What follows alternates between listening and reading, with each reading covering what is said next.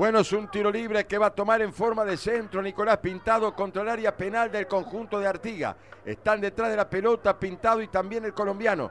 Allá el árbitro conversa con Gorgoroso, ahí va a venir el tiro libre, se adelanta el colombiano, coloca la pelota en centro, cruzado, cabezazo al medio y está sacando la pelota violentamente el zaguero Jonathan Piri. La para como último al hombre el jugador Igor Viera. Igor Viera alcanzó para Gorgoroso, están todos arriba. Tiene que hacer el centro ahora, coloca el centro abierto buscando a Douglas. La paró Douglas, tiene el tiro de zurda. Llega, se acomoda, va a tirar y no pudo acomodarla nunca Douglas. Qué pelota le metió Gorgoroso. La para otra vez Coito, la lleva Coito, la pierde Coito. No la dan a tiempo, la corre Palacio, la saca Palacio, la pide el colombiano. Pelota de pintado al colombiano. El colombiano va por la derecha, se mete pintadito, se la dio. Entró pintado Douglas. Ay, que no llegó. La corre a buscar Coito de nuevo, la dejó picar. Cuidado, le colocó para Gorgoroso. Buen momento de Tacuarembó, este colocó la pelota a la izquierda. Vino el esférico para Sosa, este bailoteó, colocó a la izquierda. Va a venir otro centro, se mete dura, vino centro. Rebotó, la sacaron a media, la paró Piri. Tiene que venir ahora, la lleva Piri, la pide Pintado, la pide Coito, la lleva Piri, coloca otro centro, vino centro, cabezazo, está. ¡Gol!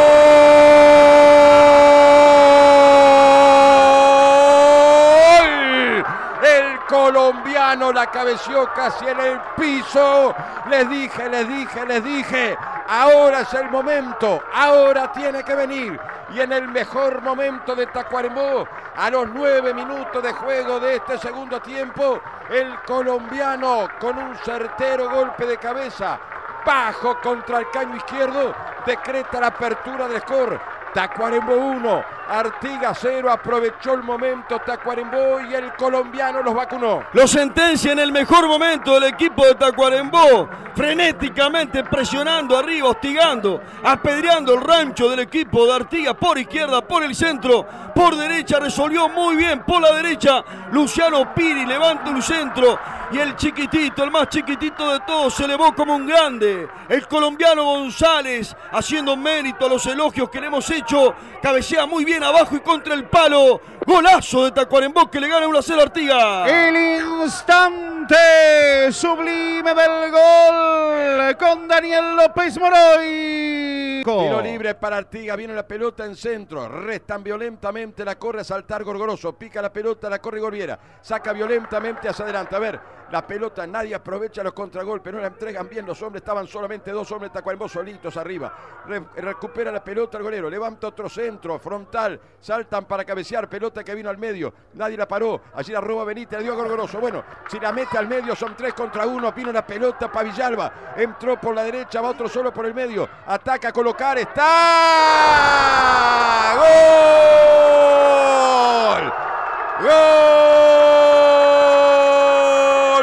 El sanducero, qué golazo. La levantó y la incrustó en el ángulo superior derecho. Gol de Tacuarembó, el segundo y liquidó el partido. Así es lo que queríamos.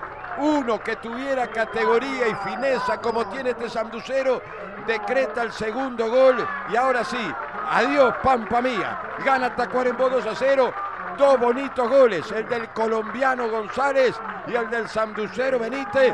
Tacuarembó 2, Artigas 0, liquidado el partido. Demuestra por qué en su momento este joven jugador número 10 jugó y vistió la camiseta del Club Nacional de Fútbol, incluso jugó alguna Copa Internacional. La picó con una sutileza tremenda por encima del guardameta del equipo de Artigas, colocándola en el ángulo superior derecho del golero que no pudo hacer nada. Una genialidad hacía mucho tiempo que en esta categoría, y te diría que es poco verlo, en el fútbol uruguayo una jugada de este tipo no aparecía.